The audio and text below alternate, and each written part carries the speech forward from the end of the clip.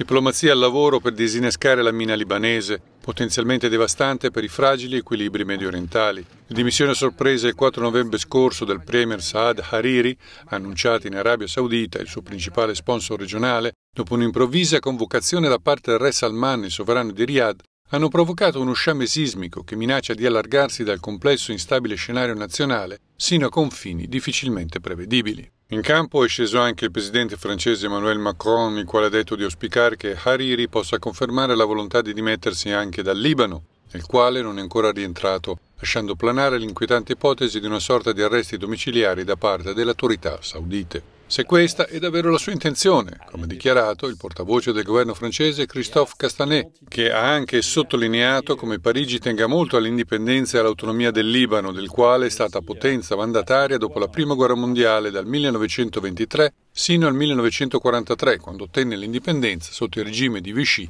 del maresciallo Pétain.